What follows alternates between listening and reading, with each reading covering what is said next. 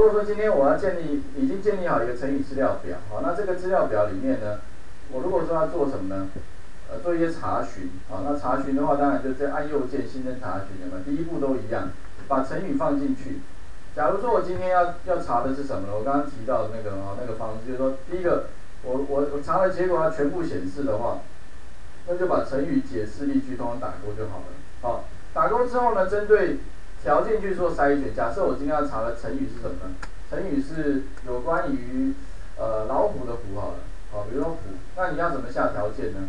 当然，你可以在底下加上会有，有没有？然后哪个栏位的成语啊，like，有没有？然后什么条件，就直接这样打，enter，啊，直接会有，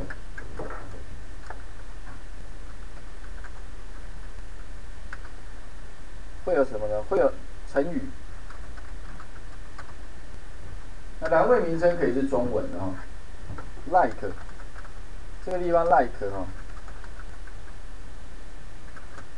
like 双单引号哈，这边是单引号的哈。接下来我要查什么？老虎的虎。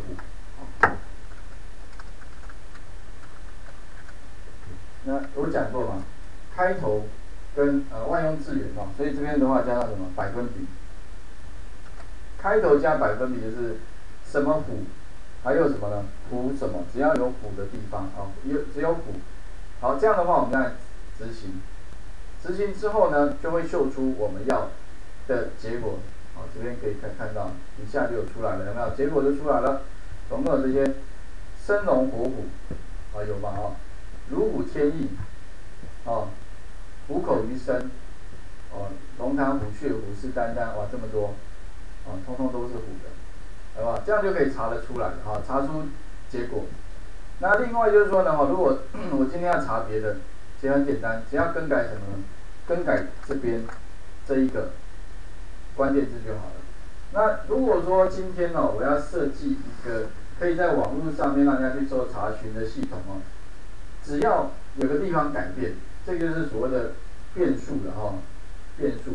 只要在这个地方做修改，让大家可以填资料，并且我取得他到底填了什么，把这个填的资料放在这里面，丢给 C C 口 Server 他就把结果丢还给我了，啊，基本上流程就是这样子，啊，基本上，那所以你只要懂得这个 SQL 语言的话，那就可以查出你要的结果。啊，这里的话，让你们试试看啊，如何在成语里面呢查出啊，比如说以虎开头，呃，在这个成语里面有虎的部分啊，把画面先还给各位一下啊，记得这个地方第一个动作按右键新增查询啊新增查询。